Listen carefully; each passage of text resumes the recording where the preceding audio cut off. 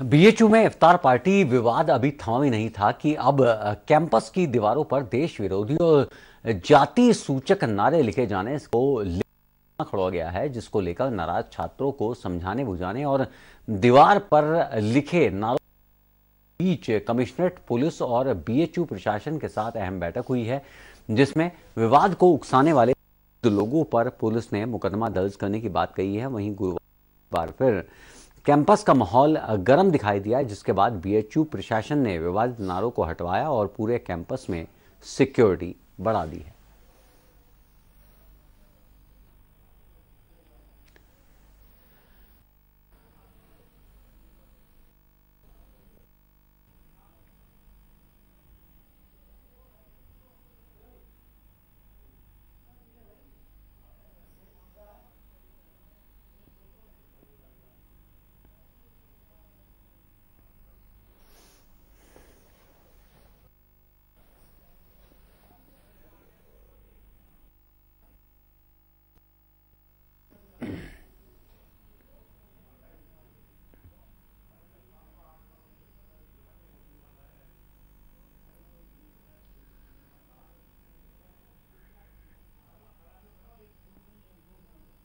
और उस खास चर्चा पर हमारे हैं लखनऊ से शिक्षा विद सुशील और लखनऊ से संवाददाता प्रदीप सिंह और साथ ही जुड़ेंगे वाराणसी से निमेश राय।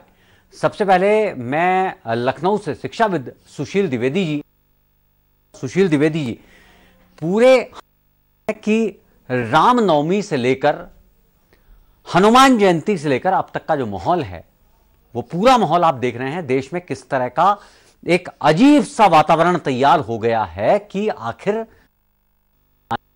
के लिए क्या सींच कर क्या देख रहे हैं? पेट्रोल।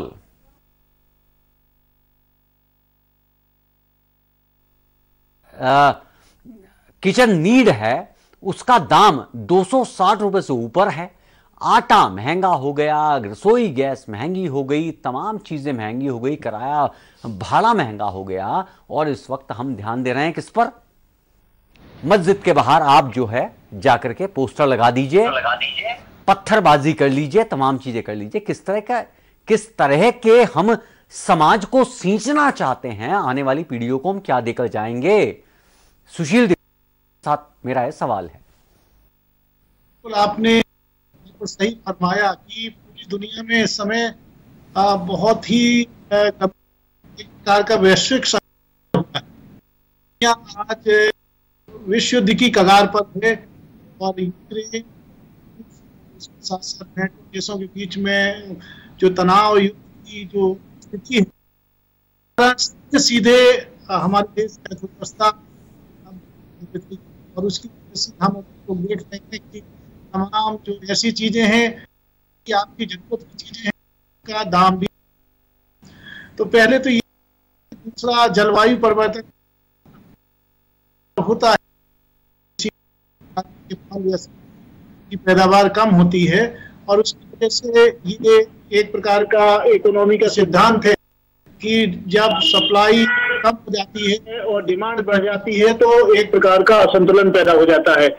तो उसकी वजह से हम विशेष नींबू के और भी जो परेशानियाँ लोगों को देखने को मिल रही हैं, वो देख रहे हैं। तीसरी, जो हमारे समाज में एक प्रकार का जो पतन देखा जाता जो हमें और आपको बचपन से ही चीज़ें सिखाई जाती थी कि हमें दूसरे की पीड़ा को देखना ही नहीं, बल्कि ये पीड़ा हमारी आपकी दुखनी भी चाहिए। मतलब मेरा कहने का तात्पर्य ऐसा है कि आ, हमारे आपके अंदर का जो का जो नैतिक ज्ञान जिससे नैतिक तो चीज़ें हमें और आपको सिखाई जाती थी तो आज हम और आप लोग किताबी ज्ञान प्राप्त कर रहे हैं। और किताबी ज्ञान प्राप्त करके हम लोग बिल्कुल मैकेनिकल काम कर रहे हैं। पढ़े लिखे बच्चों का ब्रेन वॉश कर दिया जा रहा है। जो मास्टर डॉक्टरेट किए हुए हैं जिनका अपना खुद का विवेक होना चाहिए।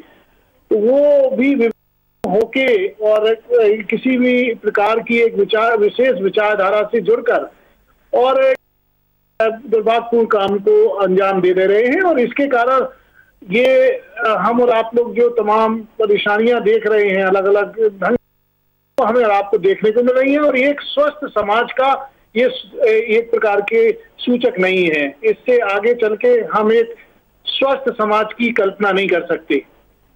ये निश्चित तौर पर। प्रदीप हमारे साथ जुड़े हुए हैं। प्रदीप, अयोध्या में मस्जिद तोड़ी गई। राम मंदिर का सुप्रीम कोर्ट के किया जा रहा है और भव्य राम मंदिर बन रहा है। से भी उसमें चंदा रहा है और जैसा कि हिंदू समाज चाहता था, उसके मुताबिक राम मंदिर का निर्माण हो रहा है। ऐसे में इस लगाने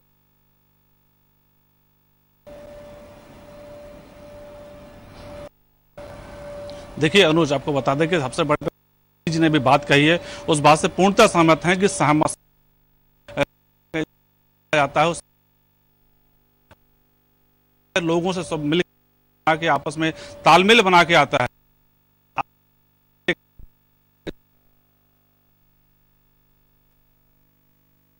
समाज ध्यान दे सिर्फ़ और के समय में स्थिति देखा जाए तो सिर्फ़ आ, लोगों को एक दूसरे अंदर द्वेष पैदा हो जा रहा है एक समाज के दूसरे समाज के रोजगारी का कोई लेना देना नहीं हो रहा है किसी को यह दिक्कत कहीं ना कहीं अपने अपने आप को कहीं ना कहीं सरकार दोषी दिखाना है तो क्या कारण होगा? दिखाने का सरकार कानून व्यवस्था नहीं संभाल पा रही है। कोई हैं, ये करना चाहिए। मतलब का मकसद कहीं ना कहीं सरकार फेल दिखाई के अलावा होनी चाहिए वो पढ़ाई नहीं सिर्फ़ किसी बाज़ार में, वहाँ आज को दूसरा समाज गाली दे रहा, दूसरा समाज सिर्फ़ यही चर्चा हो रही, ना महँगाई की चर्चा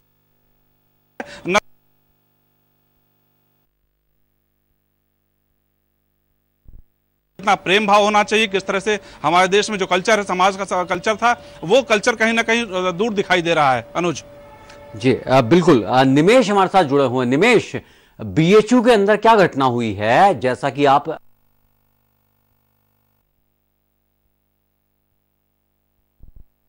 की घटना होना किस बात का संकेत है? अभी तो रमज़ान चल रहा है।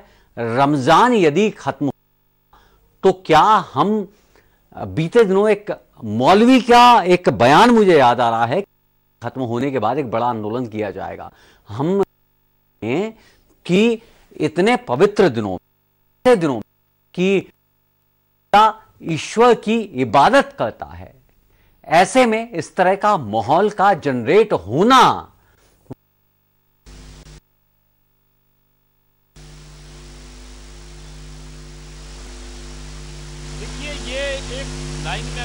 समाज में धीरे धीरे तस्वीरें जो देखने को मिल रही है अलग अलग पार्केट और अलग अलग कम्युनिटी में।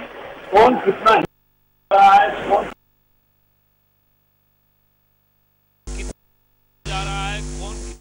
दुर्भाग्य ये है कि ये चीज़ें विश्वविद्यालयों में शिक्षा के ये बता आने वाली पीढ़ी भी इसी तरह और यही जो तरह से इंस्टीट्यूट के भीतर जातिवाद को लेकर के धर्म को लेकर बीएचयू का जितना ज़िक्र कर रहा है बीएचयू में बुधवार को मुस्लिम महिलाओं लड़की पार्टी है हर साल होता है की तरफ़ और उर्दू डिपार्टमेंट उर्दू डिपार्टमेंट बताया गया है अरबी पढ़ाता को फारसी है एक बड़ी भी है विस्तार में को भी आमंत्रित किए वहाँ गए उसकी वीडियो वायरल हुई है उसके सो संगठनों के जो छात्र थे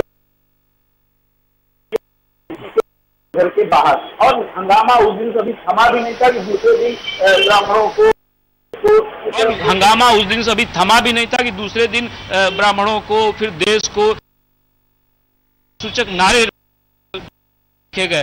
तो यानी कि जातिवाद और धर्म की जो लड़ाई है, वो विश्वविद्यालय में दो तीन दिनों से देखने को कि आज माहौल शांत है। कल शाम को हनुमान चालीसा का पाठ हुआ गेट पर। तो ये तस्वीरें बता रही हैं कि हमारे विश्वविद्यालय में जिस तरह का माहौल खड़ा किया जा रहा है, मुकदमा दर्ज कराने की बात प्रशासन करता है। हंगामा जब खड़ा हुआ तो जिला प्रशासन मुकदमे की बात कहा। उसके बाद विवाद शांत ज़रूर हुआ। लेकिन आप मानिए बात कि ये मुकदमा अगर होता तो सिर्फ़ छात्रों पे होता। इस योजना के जो प्रायोजक शिक्षक हैं, जो डिपार्टमेंट्स में बने हुए हैं अपने अपने डिपार्टमेंट्स में और सरकारों में भी बने रहते हैं, हर सरकार में भी बने रहते हैं, वो इसके पीछे मूल हैं और उनको करके ऐसे लोगों को भी नहीं निकाला जाएगा। तब तक आपको इस तरह की घटना आप याद करिए कि बनारस हिंदू यूनिवर्सिटी में जब कोई चांसलर आता है तो उसके आने के तीन से छह महीने को ये विद्यालय में जो इस तरह की गतिविधियों को बराबर आयोजित करता रहता है और उसके कुछ पढ़ने वाले बच्चे आते हैं। जीवन तो खराब माइंड वॉश भी पे, धर्म के नाम पे, जाति के नाम पर ऐसी गाली गलौज दीवालों पे करते हैं, आगजनी करते हैं, हिंसा की ट्रेनिंग लेते हैं विश्वविद्यालयों में। ये एक ऐसी बात है जिसपे हमारी सरकार को, समाज को भी ये देखना होगा कि आखिर हमारे शिक्षण संस्थानों के भीतर चल क्या रहा है। और अगर दोषी के रूप में बच्चे सड़कों पे दिखाई देते हैं तो क्या वास्तव में बच्चे ही दोषी हैं, या उनको उस तरह की ट्रेनिंग देने वाले उनके शिक्षक और प्रोफेसर? ये गंभीर देखिए, जब तक जाए लेके लेके जामिया से लेके अलीगढ़ को मिलेगी और समाज को मिलेगी, अनुज। सुशील जी, आप शिक्षाविद हैं, ज़ाहिर तौर पर शिक्षा से जुड़े हुए हैं। आपके साथ मैं एक अपनी व्यक्तिगत चीज़ शेयर करना चाहूँगा। जब मैं तीसरी क्लास में आया, जब मैं तीसरी क्लास में था, बहुत छोटा था, तब तीसरी क्लास में पहला दोहा हमें पढ़ाया गया था, गोविंद दाऊ खड़े काके लागो पाए, बलिहारी गुरु आपने गोविंदियों से सिखाए। ये पहला दोहा था। आज मेरी बेटी है वो आज गई है आ, एक मार्च को उसका एडमिशन हुआ है नर्सरी क्लास में। सुशील जी ध्यान दीजिएगा। सर साढ़े चार हज़ार बुक्स मैंने खरीदी। उन बुक्स को मैंने खोल के देखा। नैतिकता का कहीं कोई पाठ नहीं था। केवल हमारे वक्त में पढ़ाया जाता था राम रहीम की माँ है की शिक्षा हो गई है जो जो को पैसा कमाई का मशीन बना रही है नैतिकता का एक भी पार्ट नहीं दे रही है।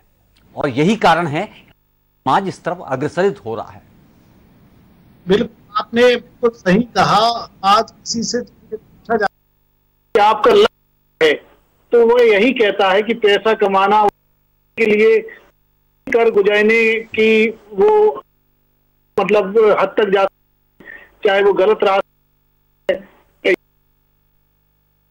में कई उदाहरण देखने को कि जिसमें युवा वर्ग खुद में नैतिक मूल्यों को कितना गिरा चुके हैं। और दुख तो इस बात को होता है कि शिष्टाचार, संस्कार व नैतिकता की यह पहचान जो हमारे वो धीरे होती जा रही है। और जैसा युवाओं में विशेषकर, क्योंकि युवा पीढ़ी तो पागल हाथी की तरह नैतिकता व संस्कारों को भुलाकर कुचल कर अपने रास्ते में आने वाली हर चीज़ को रोनते हुए चला जा रहा है। बेखबर है कि जब भी वह ज़मीन पर गिरेंगे, तब क्या हाल होगा? ये सिर्फ़ नैतिक मूल्यों की कमी के कारण हो रहा है। और दूसरी बात जो आपने आज कही, हमारी किताबों में टॉम हैरी या चिनचैन या जो भी ये गेम या इस प्रकार के पात्रों के बारे में बच्चों को ज़्यादा ज्ञान है और हमारे जो परंपरा थी, जो हमारे देश के जो एक अतुलनीय व्यक्तित्व थे। उनके बारे में हमारे बच्चे नहीं जान पा रहे। इसके लिए राष्ट्रीय शिक्षा नीति, आपको पता ही है कि धीरे धीरे करके लगभग सारे देश में अब इम्प्लीमेंट होना शुरू हो गई है और उसमें इस चीज़ का ध्यान रखा गया। गहन मंथन किया गया है। हज़ारों लाख विद्वानों से मंथन करके वो जो रस निकला, जो अमृत वो हमें और आपको देखने को मिलेगा। भविष्य में हम और आप ऐसी शिक्षा नीति को देख पाएँगे। बच्चों, विद्यार्थियों को हमारे एक एक आधारभूत जो है मूल जो हमारी संस्कृति खाने पाएगी और हमारे देश के अतुलनीय व्यक्तित्व, स्वामी साहब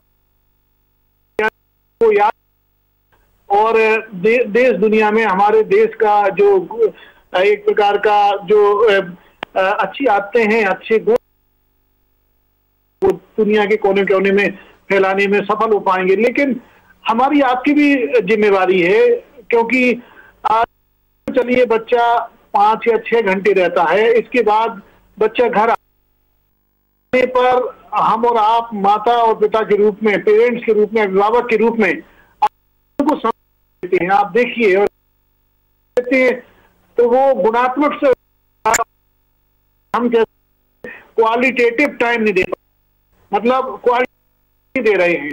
आप बच्चे से, आप अपने मोबाइल में व्यस्त हैं, आपके में व्यस्त है, बच्चा अपना पढ़ाई कर रहा है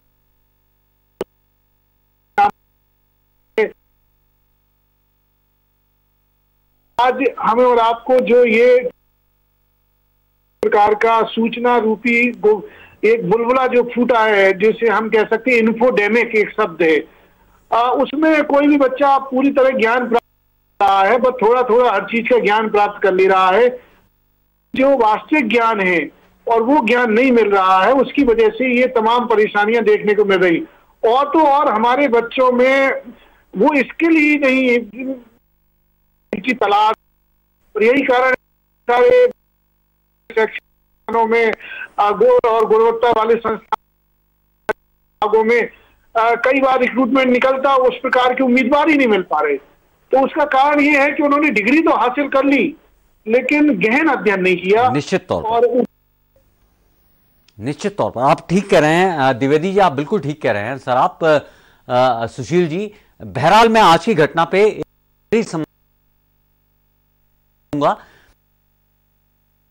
कुछ अयोध्या में हुई है। उस पर प्रशासन तक क्या कार्रवाई की गई है और आगे क्या होगा?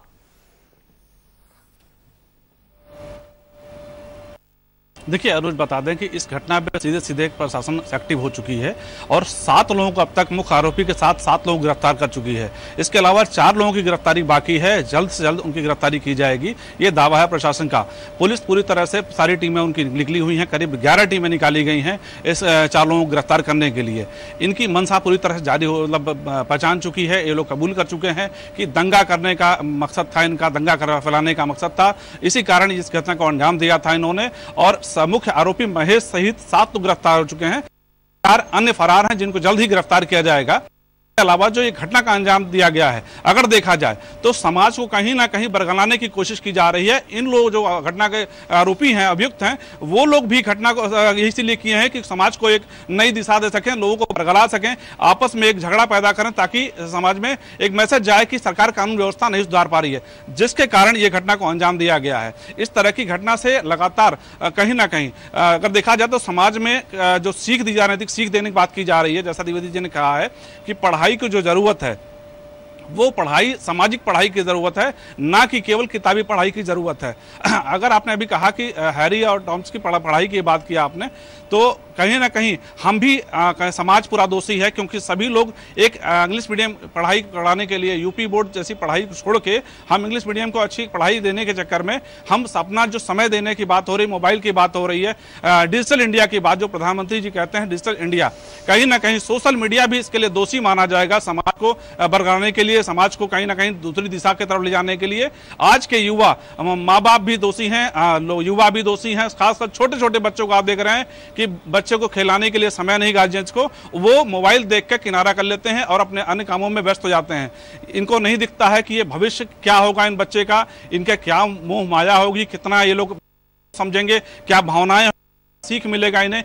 क्या किस किस तरह की भाषाएँ किस किस तरह के वीडियो मोबाइल में वो देखते हैं जिसके माध्यम से उनको ये बरगलाया जाता है। आपको बता दें कि जिस तरह की घटनाएँ लगातार हो रही हैं नया समाज जो बनेगा वो एक दूसरे को देखना पसंद नहीं कर रहे हैं लोग। कहीं ना कहीं एक समाज दूसरे समाज की ओर नफरत देख रहा है दूसरा समाज पहले समाज की ओर नफरत दिखाई दे रहा है। अनुज। जी जी। आ, आप पूरी खबर पर निगाह बनाए रखिए। मैं एक राय ले लू निमेश की। निमेश अब तक जो घटनाक्रम हुआ है यूनिवर्सिटी के अंदर, उस पर अब तक प्रशासन ने क्या कुछ संज्ञान लिया है?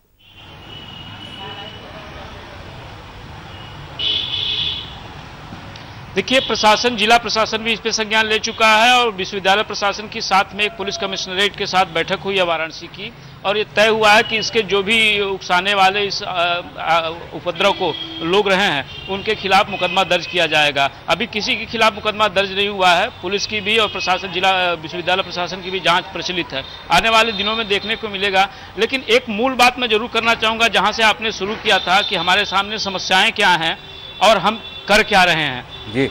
उसका जवाब सिर्फ़ इतना है कि उसके सिर्फ़ एक जिम्मेदार हैं, वो हमारे शिक्षक हैं, जो हमको जाना अगर चेन्नई है तो हमको पश्चिम बंगाल की ट्रेन पकड़ने के लिए उकसा रहे हैं।